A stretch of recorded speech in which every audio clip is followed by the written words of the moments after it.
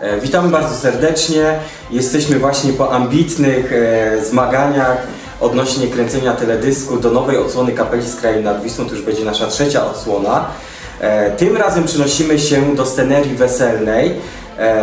Jeśli chodzi o muzykę, jestem autorem właśnie ja. Basia jest autorką scenariusza. Łącznie to jakby wspinamy i organizujemy. Wykonuje wszystko, przepraszam, telewizja Echo. Tak jest. E, świetna ekipa z nami na planie. Dzisiaj jest Michał Tomek. Pozdrawiamy Za Cię kamerą, za kamery.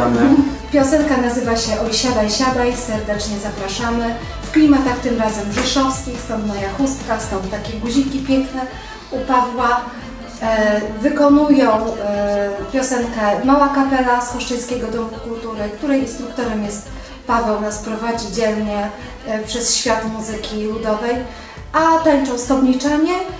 W teledysku występuje łącznie ponad 30 osób. Są to nasi przyjaciele najczęściej, ludzie, którzy e, pomogli nam zorganizować ten teledysk fantastycznie.